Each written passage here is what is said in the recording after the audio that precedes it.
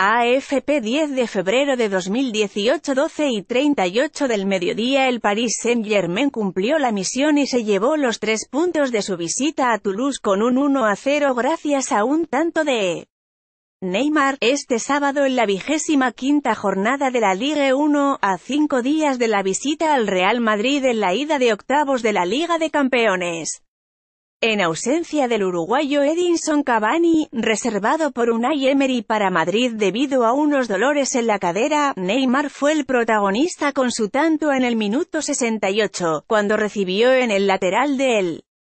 área un pase largo del argentino Ángel Di María y, tras una serie de regates, encontró el hueco para un tiro cruzado que se alojó en las redes tras tocar en un defensa.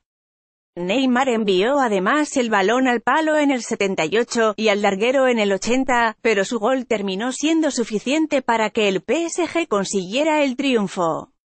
El astro brasileño suma 19 dianas en lo que va de Ligue 1 y se acerca a apenas dos de su compañero Cavani, 21, el líder de la tabla de máximos anotadores del campeonato.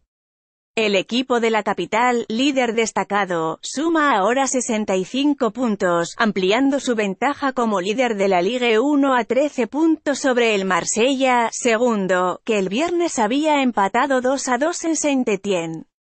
Los marselleses pueden incluso perder el segundo puesto este sábado, si el Mónaco, tercero a dos unidades, vence en Angers. En cualquier caso, el Paris Saint-Germain habrá ampliado en esta jornada su margen como líder y habrá dado un nuevo paso más hacia la reconquista del título nacional. La victoria en el campo del Toulouse decimoquinto, permite al equipo afrontar con tranquilidad el gran desafío del Santiago Bernabéu, que el Paris Saint-Germain visitará el miércoles en busca de un buen resultado que le permita soñar con derribar al vigente campeón del máximo torneo continental.